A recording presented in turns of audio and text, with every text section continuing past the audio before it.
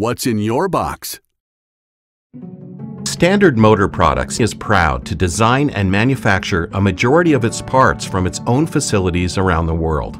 One of those facilities is the company's engineering lab in Long Island City, New York. Here, a team of engineers designs, develops, and tests SMP products to ensure performance and longevity.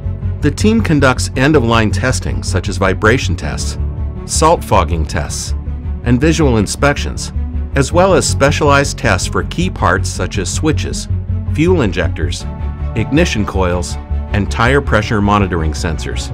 The end product for the technician is a replacement part that has been designed, developed, tooled, manufactured, and tested to perform properly and withstand real-world conditions every time.